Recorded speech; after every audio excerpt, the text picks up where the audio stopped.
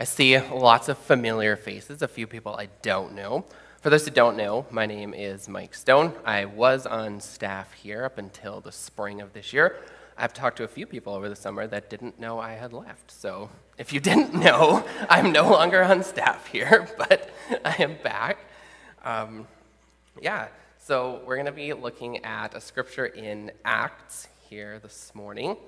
And we're going to be looking at the difference between change and transition. So, we're going to look at Peter's experience of a vision of unclean animals that gives us a great illustration of this concept.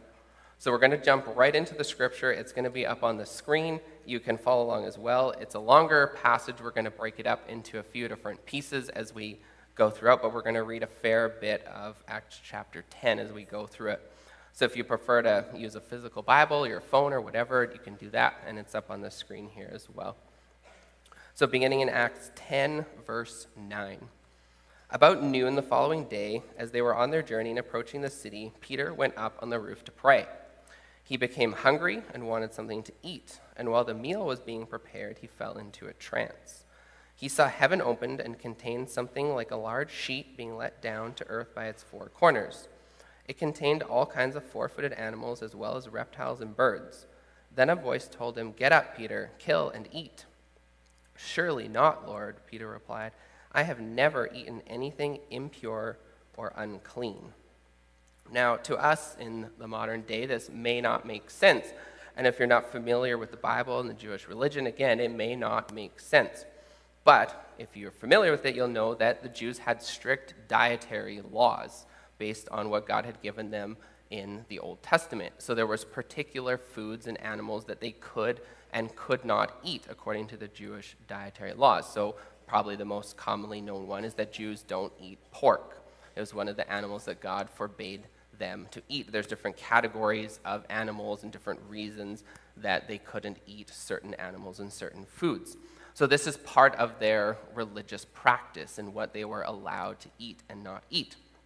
So, Peter, being a Orthodox Jew who follows the law, being commanded or asked to eat something that is forbidden by the law would be absolutely shocking. This was something he had lived with his entire life. He says he has never violated the law. He's never eaten anything impure or unclean. He has followed the religious um, purity and dietary laws given in the Old Testament. So now, this vision coming from God saying, Get up, Peter, kill and eat. It doesn't make any sense. Why would God be commanding him to do something that is contrary to the law? So the vision continues. The voice spoke to him a second time, picking it up in verse 15. The voice spoke to him a second time Do not call anything impure that God has made clean. This happened three times and immediately the sheet was taken back to heaven. So, again, I'm sure if you place yourself in that situation, Peter would have been extremely confused. Why is God asking him or commanding him to do something that contradicts the law? This is something Peter has never done. Why would he be asked to do this? Now, here we find the difference between change and transition. Because on the one hand, Peter could change his behaviors in that he could decide to eat something that he had previously viewed as unclean. He could go out and have some bacon, be tasty. He could decide to do that. That would be an external change, something in his behavior that he could or could not do.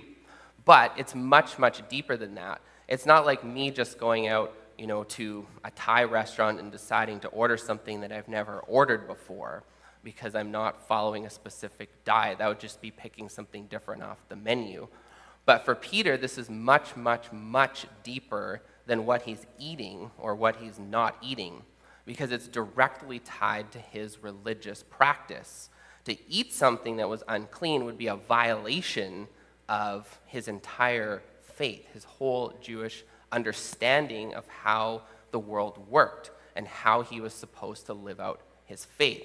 So, eating something unclean would be a surface level change, but in order to do that, in order to understand what God is saying, he has to go much deeper to the idea of transition. Because change generally is something external that happens to us or around us or something that we do. It's an external behavior or a circumstantial thing that happens or that we choose to do. For instance, you might change jobs, but if you stay in the same career, Brandon being a teacher, he might teach at this school or that school. And it's a change, but he's still doing more or less the same thing, just at a different location. His life might stay more or less the same. He lives in the same house, he has the same family, he drives the same car. It's a, an external change in where he does that. But a transition goes much beyond the surface level of behavior or circumstances to what's going on internally. It's psychological or internal rather than external. It has to do with changing your self concept or your beliefs rather than just your behaviors or what you are doing.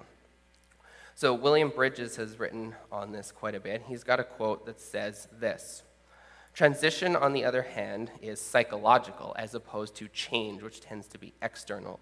It is not those events, but rather the inner reorientation and self definition that you have to go through in order to incorporate any of those changes into your life. Without a transition, a change is just a rearrangement of the furniture. So Peter certainly had faced many changes. He had left his profession as a fisherman in order to follow Jesus. He had gone as a disciple of the rabbi Jesus and he followed him for three years. So he changed his profession or his career. He had faced the death of his rabbi Jesus and then the subsequent resurrection of Jesus. He's faced many changes. He left behind his old path in order to move into something totally different. And along the way, the process of transition begins to happen in Peter's life. And though to this point his worldview has undergone some significant changes, there is more yet going on. And he's faced now with possibly the most significant transition he has yet faced. In being asked to eat something unclean by God, he is being asked to completely change his worldview, how he sees God, how he sees what Jesus is doing. Another quote from William Bridges says this Transition begins with an ending, with people letting go of their old reality and their old identity. Unless people can make a real ending, they will be unable to make a successful beginning. So, for Peter, if he cannot let go of his old identity, his old beliefs that he is being called to challenge and change, he will be unable to embrace what God is doing moving forward because, you may know the story, spoiler alert, this isn't just about what you eat. This is not just about eating bacon or not. So it's impossible to take hold of something new when our hands are full of the old. If Peter's going to be unable to let go of the Jewish law in all of its detail, he will not be able to move forward into what God is calling him to. So let's pick up the passage again in Acts at verse 17, chapter 10. Well, Peter was wondering about the meaning of the vision, and we're going to go through a longer section here, so just feel free to follow along. The men sent by Cornelius found out where Simon's house was and stopped at the gate. They called out, asking if Simon, who was known as Peter, was staying there. Well, Peter was still thinking about the vision, so he's just had this vision. He's still sitting here trying to understand what this vision means. The Spirit said to him, that's the Holy Spirit, Simon, three men are looking for you, so get up and go downstairs. Do not hesitate to go with them, for I have sent them. Peter went down and said to the men, I'm the one you're looking for. Why have you come? The men replied, We have come from Cornelius the centurion. He is a righteous and God fearing man who is respected by all the Jewish people a holy angel told him to ask you to come to his house so he could hear what you have to say.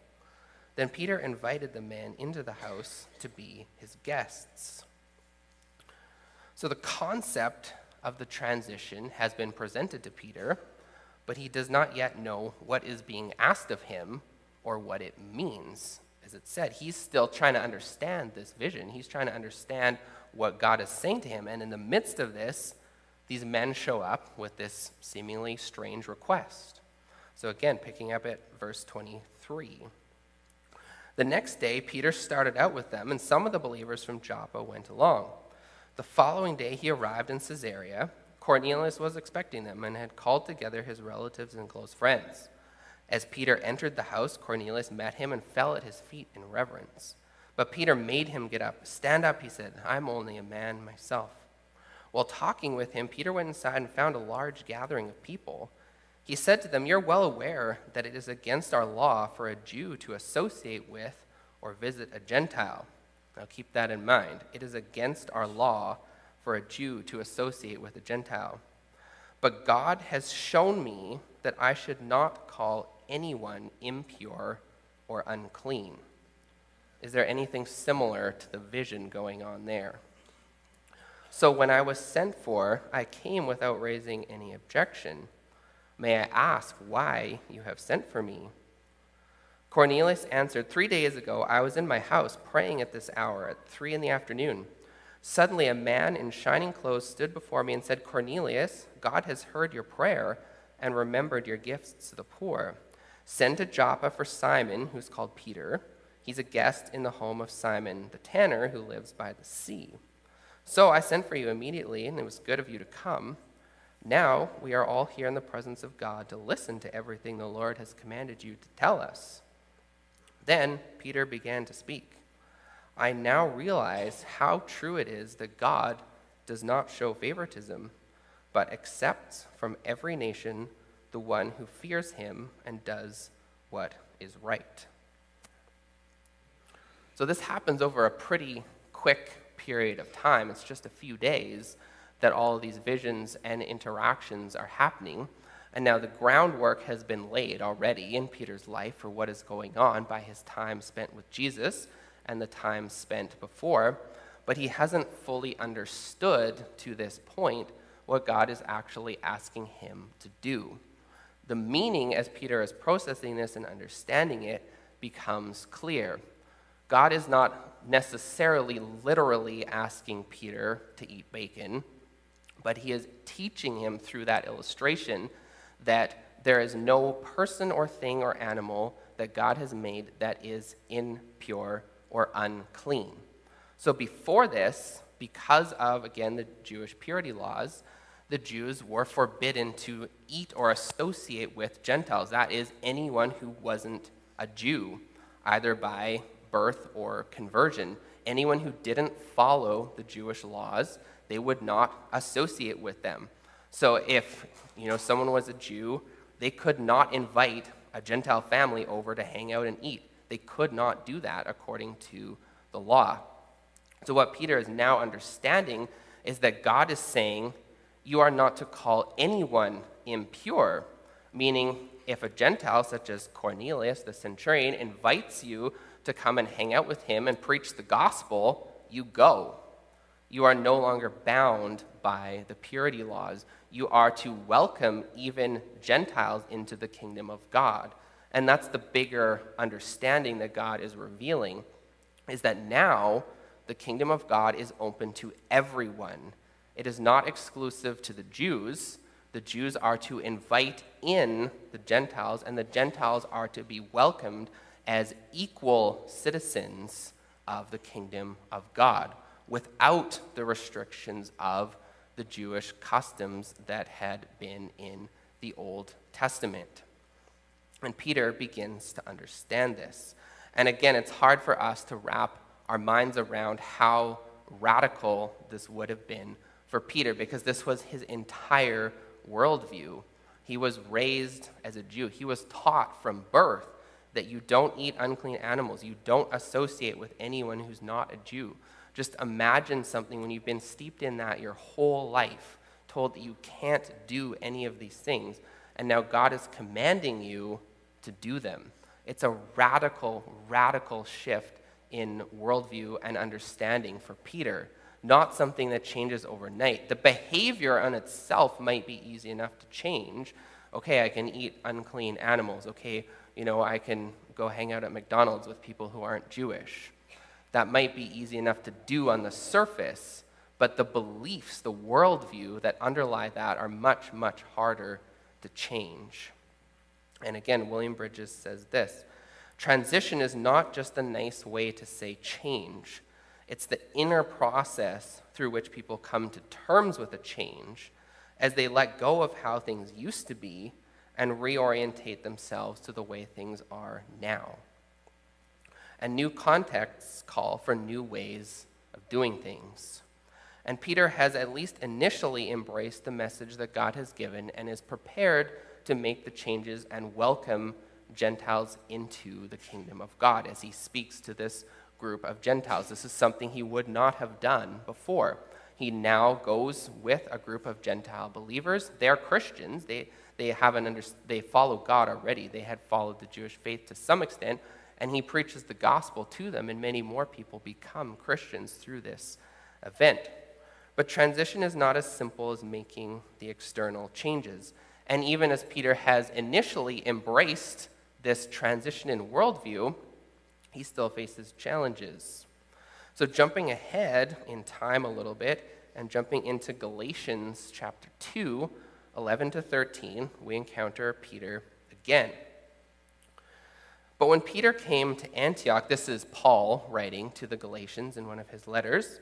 But when Peter came to Antioch, I, Paul, had to oppose him to his face, for what he did was very wrong.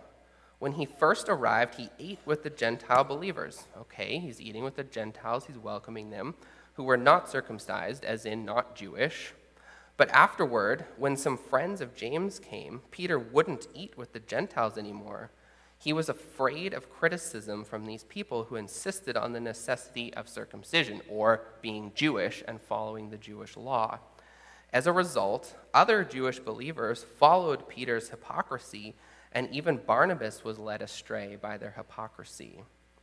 So, here we have Peter again, sometime later. He was eating with the Gentile believers, he was welcoming them into, but along come some hardline Jews who believed that you had to stick with the Jewish laws. So they were willing to welcome Gentiles to some extent if they converted to Judaism and followed the Old Testament laws. So they're saying, we will understand that God is welcoming people who aren't of the Jewish background, but if you want to be fully welcomed and embraced, you must become Jewish. You must take on the Jewish law. You must do all that was required of people in the Old Testament. You must follow all of the customs of Judaism in order to be fully welcomed and embraced in the kingdom of God. And because of this, even though he had initially taken these steps, Peter takes a step back because he's afraid of how these people might react. Under the social pressure of this group, he takes a step back from the Gentiles, stops eating with them, stops associating them because he's afraid of what this hardcore group of Jews might say or do and how this would affect his relationships with other Jews who were in Jerusalem. And so he takes a step back. Even though he had initially embraced the transition and the change, again, it's not as easy as just changing your behaviors. And under this pressure, Peter takes a step back and no longer associates with people who are not Jews. So, Paul, the Apostle Paul, who of course himself is Jewish, but becomes known as the Apostle to the Gentiles, he confronts Peter face to face, and I imagine this was not a pleasant conversation. And he calls him out publicly and says, Peter, what you're doing is wrong. You can't do this you were eating with the Gentiles. You understood that God had welcomed, has welcomed all people into the kingdom of God. But now you're stepping back from this. You're no longer following what Jesus has revealed to us. You're no longer following what the Holy Spirit said, and that all people are welcome. And Peter's fear that caused him to step back influenced other people who stepped back from what they knew God had called them to do. So Peter is between understanding the, tr- the transition and fully accepting it. He knows at a surface level what God has called him to do. He understands what the behaviors are, and he has even embraced them for a time. But when a difficult situation comes along, he steps back into the old patterns and the old ways of doing things. And for us, if we're facing a transition, it is very easy when a challenge comes along. We have initially maybe embraced the transition and the change, but when a difficulty comes along, a hard circumstance, then we take a step back because it's easy to step back into what is comfortable and familiar, the old patterns, the old ways of doing things, because that's how we've always done it. It's easy to step back into those things. And in between beginning to understand a transition and fully accepting, embracing it, and moving forward, we find the land of the quick fix. Esau McCaulley says much of the Christian life is found in the middle place between initial joy and final consummation. It's precisely then that the compromises start to creep in. And for Peter, he compromised. He knew what God had called him to do. He had accepted it and was living it out for a time, but under social pressure from this group of Jews, under a desire to fit in with his people, because these are his people, this is his religion, this is his life, this is the way he has lived his whole life, he takes a step back, goes back to the old ways, goes back to what is comfortable, goes back to what he had known before. It'd be like putting on an old pair of shoes that you really like, right? It's easy. It's so easy just to slip back into those old patterns and those old ways of doing things. It takes no effort to go back to what he had been doing his whole life. Whereas the change and transition was hard, it was not easy to do that. But again, without fully releasing his old worldview, Peter would not be able to accept Gentiles into the church. He would not be able to fully embrace all that God was doing. William Bridges says this The transition process requires not only that we bring a chapter of our lives to conclusion, but also that we discover whatever we need to learn for the next step. We need to stay in transition long enough to complete this important process, not to abort it through premature action. And when we face a transition, this is not uncommon it's easy to return to what is known and safe and comfortable. And Peter needed a stern reminder from Paul what he needed to be doing. He had to be called out publicly, probably extremely embarrassing and uncomfortable. And when he was called out by Paul, in order to return to what he knew was right and what God had called him to do. All of that is to say, transition isn't easy. Because you could look at the story, and it's kind of a nice, tidy little package in Acts chapter 10, right? Peter has a vision, the centurion comes along, he goes with the man, he understands that he's to preach to the Gentiles, he preaches to the Gentiles, a bunch of people get saved. Peter understands everything's good. Oh, wait a second. I don't know exactly what the timeline is, but later on, he takes a step back from what he knew was right and falls back into the old patterns and ways of doing things. So it wasn't that simple after all. It took time. And of course, Peter took the rebuke to heart and he began fellowshipping with the Gentiles again and continued doing what God had called him to do. And he, of course, becomes the main leader of the early church. So he did get back on track. He did fully embrace the changes that God wanted him to make. But it took time it took multiple lessons and it took him actually being called out by other people alongside of him in order to continue to understand what was going on. So, how does this work for us in our lives? We all face change in our lives, but not every change comes with a transition. And that is fine. Not every change is meant to be a transition. Some changes are just external, right? You know, if you move from one house to another house in Kamloops, that may just be a change. It may not bring any kind of significant transition because you may have the same job, the same friends, the same social circles, the same daily habits. It might not mean any significant transition. But sometimes changes come with transition, or sometimes transition forces you to make changes. And I was thinking about how to illustrate this, and I was trying to come up with a story, and Michelle mentioned Lord of the Rings. Thought, ha, perfect. There's got to be something good in Lord of the Rings. And Michelle mentioned Frodo. And so this is a good illustration of the difference between change and transition. Hopefully, you're familiar with Lord of the Rings in order to fully understand this.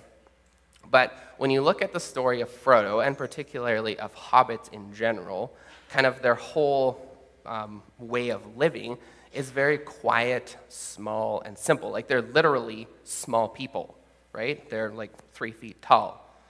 And their whole understanding of the world is small. They live in their quiet little corner of the Shire. They don't interact much with people groups outside of the Shire. They go around about their business, doing things quietly, and they don't really want to be involved in the big events of the world. They just want to be left alone, quietly doing their thing in the Shire. And that's kind of their concept as a people, right? We are literally small people. We're small in stature and we do small things. We're not involved in the, the big business of the world. That's up to the big people. That's up to the, you know, the elves and the men and all of those, you know, the grand kings and the people who are, are tall of stature and tall of activity. They do the important things. We just hang out here in the Shire. And Frodo, of course, being a hobbit, is of that mindset. He's a small person who does small things, who just lives out his quiet little life in the Shire. Now, when he comes across all of these events with his uncle giving him the ring, understanding that this ring is actually the one ring through his friendship with Gandalf, he is thrust into this um, situation of events, this flow of events that he had no idea about. And all of a sudden, he goes from a small hobbit doing small things in a small corner of the world to someone who's on this massive quest that literally shapes the destiny of the world.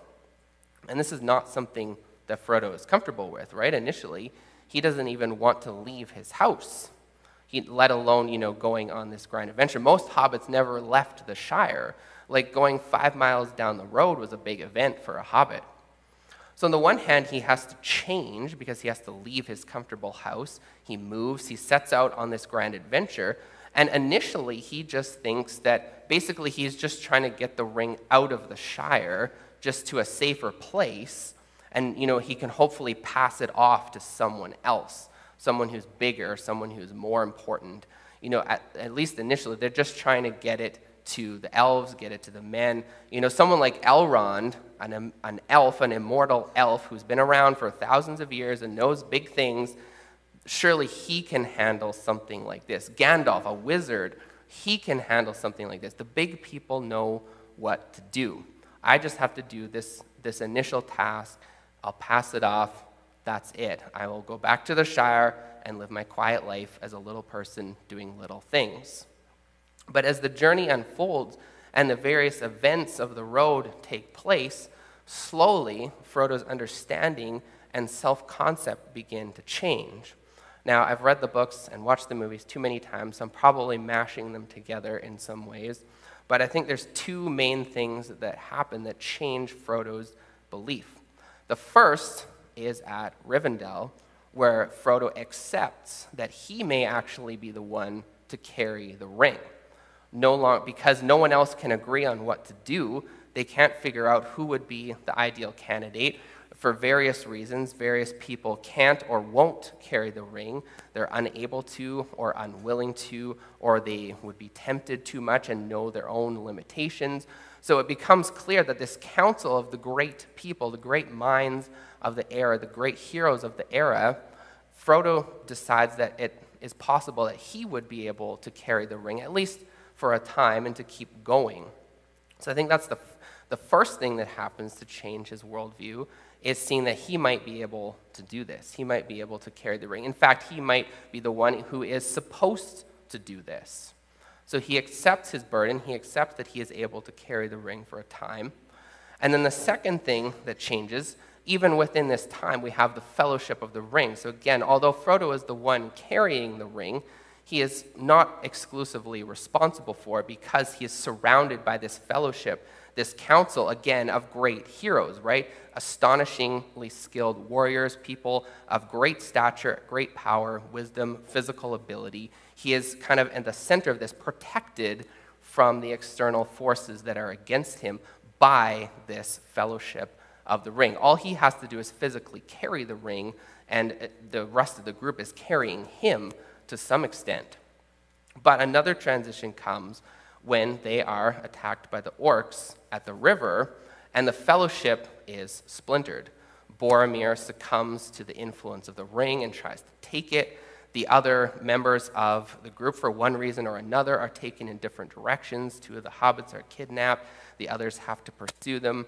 So Frodo decides at this point, I have to actually take responsibility for the ring it not only is it my job to carry it, but I now have to take the initiative in doing something myself without the protection of the group. I'm not going to be surrounded by these heroes anymore.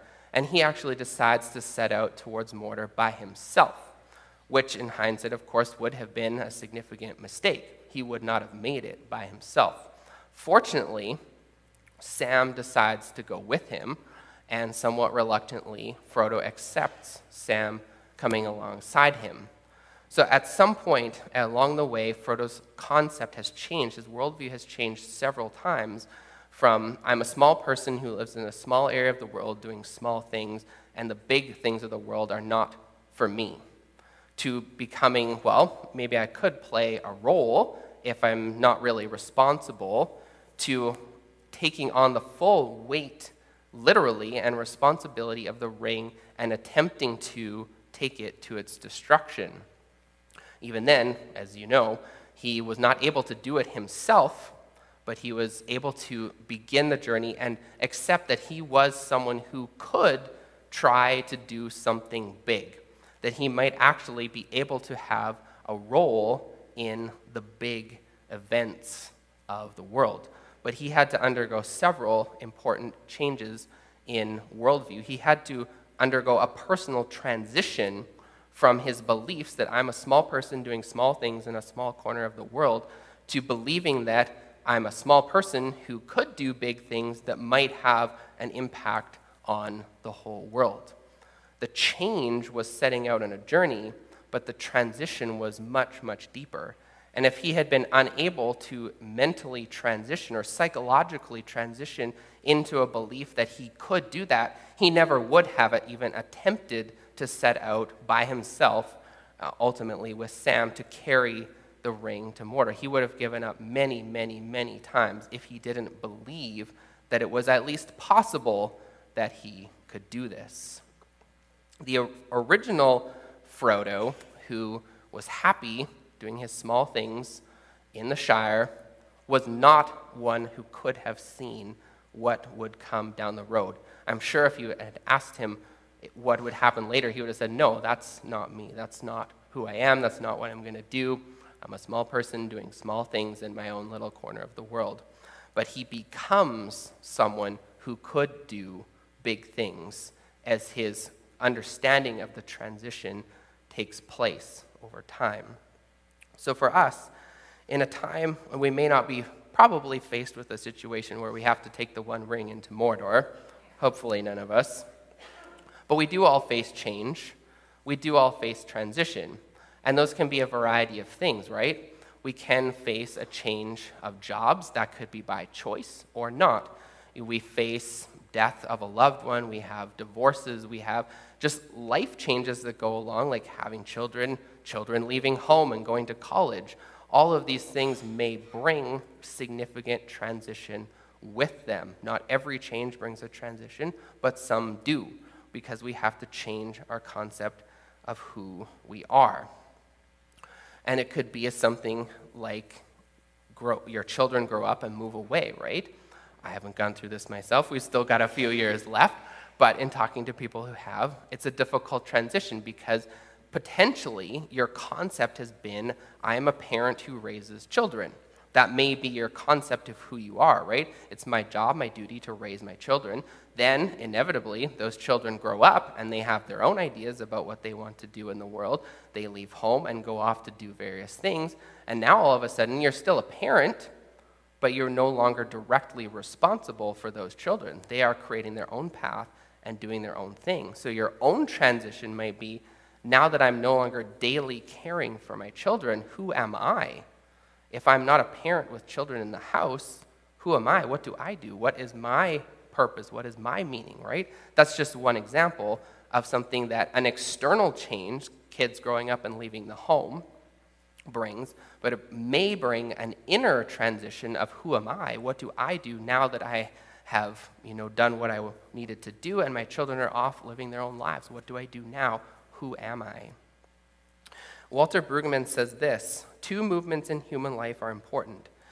A, deep reluctance to let loose of a world that has passed away, and B, capacity to embrace a new world being given. And just as we saw with Peter, sometimes being in transition, a knowledge of a predictable and even successful past tempts us to stay where we are or return to old patterns rather than moving forward. We try to fit the new situation into our old way of doing things, which inevitably fails, or at least fails to move us forward. So, if you're facing a transition, just a couple of questions as we wrap up this morning. If you're facing a transition, or maybe you can think back to previous transitions that you have gone through in life, what do you need to let go of? If the transition calls for an ending and a new beginning, what do you need to let go of? Peter needed to let go of his old understanding of how the world worked. Frodo needed to let go of his belief that he was a small person doing small things in a small corner of the world. What attitudes, beliefs, and patterns of thinking and action perhaps even served you well in the past, but you now need to leave behind? And transition is an uncomfortable space, so we often try to leave it as quickly as possible by doing something, taking action, jumping into the next thing. But if you are facing a transition or thinking about transitions that you faced in the past, how can you spend the necessary time in transition in order to let go of the past and be ready to embrace the next chapter? And Peter, of course, faced that.